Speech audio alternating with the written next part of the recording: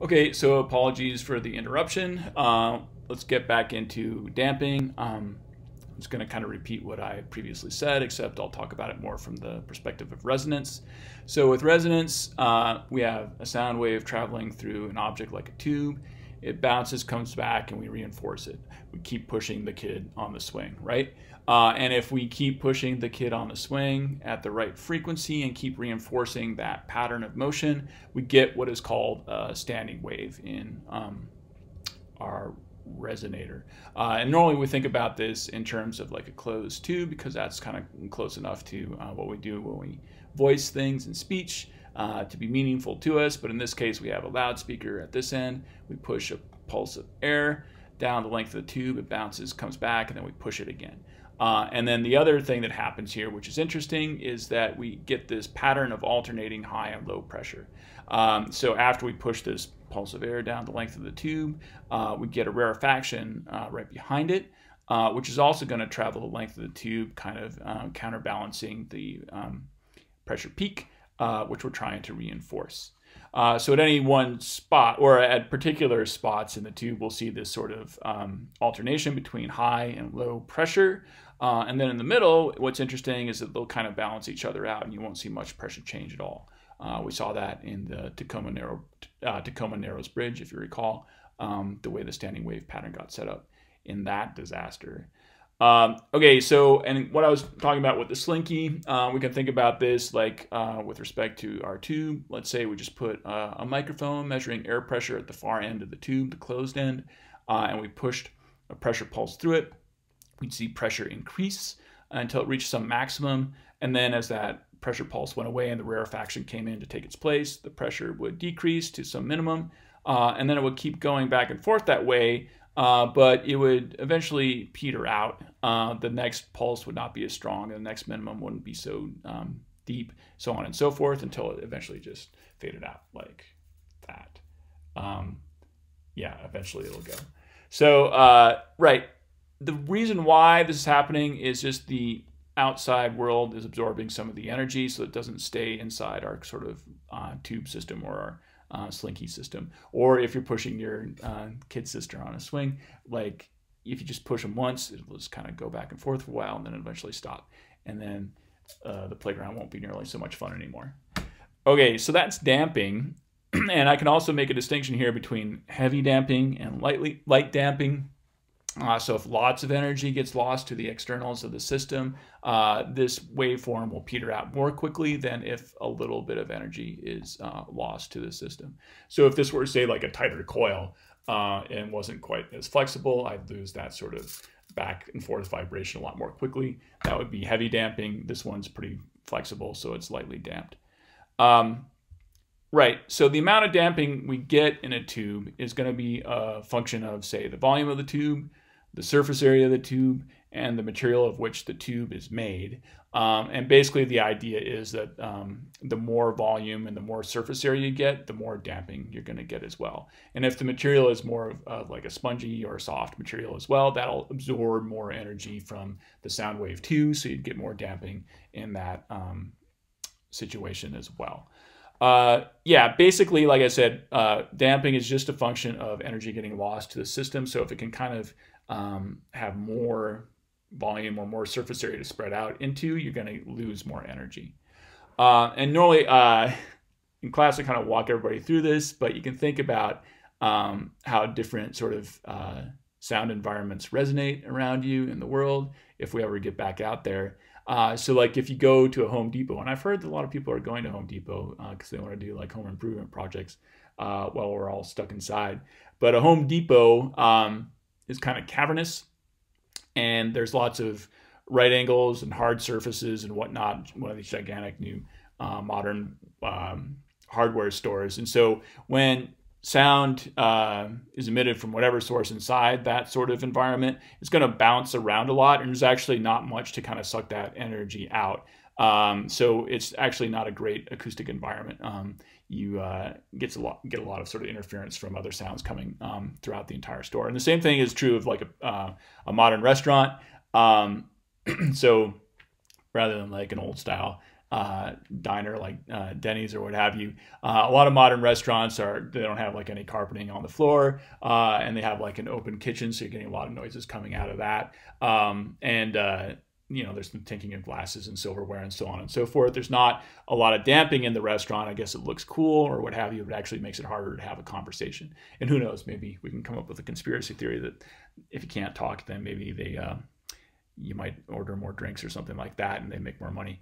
Uh, but uh, on the other hand, a place that really is trying to um, sort of dampen out the sounds um, for your benefit as a customer is like a movie theater. Uh, and if you think about the way a movie theater look, looks like, not only is there like all these cushioned seats and so on and so forth, but on the walls of the movie theater, they have like these curtains with these little crenellations in them, these little folds, which actually um, give you more surface area in which the sound can kind of get trapped um, so that uh, when sound comes out of uh, the loudspeakers from the movie soundtrack itself, it's not bouncing around in the movie theater a lot um, and kind of interfering with um, sounds that are supposed to happen in the next scene or what have you.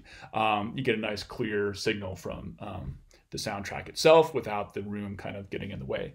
And a really extreme example of that of that sort of uh, damping environment is an anechoic chamber.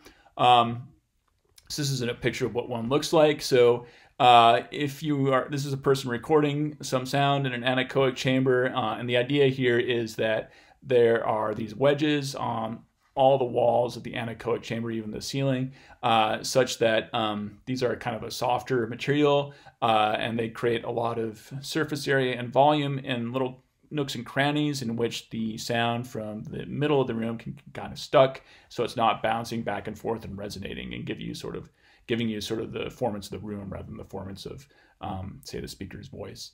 Uh, and usually, like I, like I said, these are made of kind of a softer material so that um, they can absorb some energy that way too. Uh, yeah. So why am I talking about all this? Uh, we get damping in nasals because our uh, nasal cavities function a little bit like, say, the curtains in a movie theater or these wedges on the side of an anechoic chamber. Um, and they will suck some energy out of the airflow through your nose and create damping in the output acoustic signal that we see in a spectrogram. Um, so I've got uh, sort of a slice of what the inside of your nose looks like. I think this is looking at um, one of these uh, sections. Um, so the idea is that this is these are the two passageways through your nose. Uh, and you might notice that there's a lot of kind of nooks and crannies in here, and this is usually softer material uh, that's kind of like um, filled with liquid, so on and so forth. So as air passes through it, the biological function is that um, the air is supposed to uh, get a bit warmer and more humidified before it goes into your lungs, which is nice in an environment like Calgary where things are often cold and dry. Uh, but the um, linguistic implications of this is that uh, the air might get stuck in these nooks and crannies as it goes through your nose, and it's not going to be as energetic by the time it gets out into the outside world. Uh, we're going to get a lot of damping in the signal effectively. Um, so that's going to decrease the amplitude of uh, the nasal airflow, and it's also going to spread the energy that you do see. Like I said, if you just mm, produce a nasal like that, um, it's going to basically be a vowel through your nose, but the vowel formants, the nasal vowel formants, the nasal formants rather, are going to have wider bandwidth than we normally see in regular vowels that are produced um, orally, or even nasalized vowels for that matter. Um, so this is uh, what this is a production of Ma. This is from a Mandarin speaker. Ma. Um, so this gives you uh, what the ah looks like here. This is sort of a regular vowel. And then um, this is what the nasal looks like. Again, it's kind of vocalic, uh, at least in appearance, uh, but maybe kind of looks like a ghost of a vowel, you might say. And again, it has a low frequency first formant, and these higher formants are weaker in intensity. This F3 is kind of standing out pretty nicely in this one, which is why I picked it. Um, so this helps you kind of make a contrast here. Here's our F3 for ah, and the bandwidth is basically this region or range of frequencies from top to bottom that are standing out for the formant. Ma. And that is narrower in the vowel than it is in the nasal itself. It gets kind of smeared here. So the top, it's the whole formant kind of gets smushed down. You just smush down the intensity and it gets broadened in terms of its frequency range. Um, and it's not super easy to say, well, I know this is an M rather than some other kind of nasal, but it's pretty easy to say, well, this is a nasal and this is a vowel because I get this um, overall faded out pattern here. And I also get this nice clear break in between the nasal and the vowel itself, right? So we're producing a nasal by opening up opening up that velopharyngeal port, and we stop making the nasal by closing it. So there's a really nice um, sort of um, qualitative distinction between those two types of airflow. And we can see that clearly uh, where we make that change in the spectrographic, uh, spectrographic record itself. Okay, so you should be able to spot these um, when we do look at spectrograms. That's what you can look for. I'll give you one last little random fact about nasals, which is kind of fun. Um, talking about opening and closing that velopharyngeal port with your soft palate. Um, you can release an oral stop closure, like say a D, um, not by the usual route of just releasing or lowering your tongue so you get that alveolar release burst like a duh. Um, you can actually release it by opening up that velopharyngeal port so that air starts flowing through your nose. You can go straight from uh, oral stop to a nasal stop without having any sort of vowel in between. Um, when you do this, it's called nasal plosion, um, and uh, there's the way you can represent it in the IPA is with like a superscripted nasal stop, so a D with a superscripted nasal right next to it. Um, I've got some examples here of uh, Peter Ladefoged trying to demonstrate this phenomenon with these various English words. So again, we have like a D here, uh, which as a Canadian speaker of English, you might say with like a flap rather than a true D. He's going to say them with a genuine alveolar stop. And then there's a nasal alveolar stop right after them. Maybe there would be might be a schwa in between the two. Maybe there won't.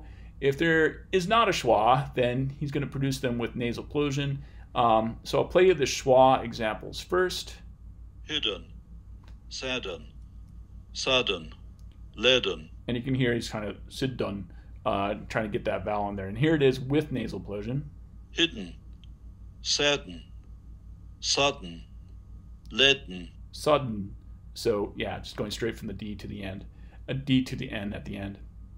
Uh, my uh, wife is a speaker of nasal. Uh, my wife is a speaker of nasals. She's a speaker of Russian, uh, among other things. And um, Russian is a language that has nasal plosion in initial position, which might be a little bit trickier for you to um, get the handle, get a handle on. But uh, as a speaker yourself, uh, but we see this in words like bottom, D and O and of the day, D and ah. I'm not going to try this, uh, and I'll let my wife, the expert, do it instead.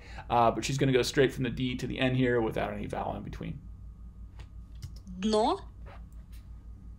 Dna. Like that. I'll play one more time. Dno.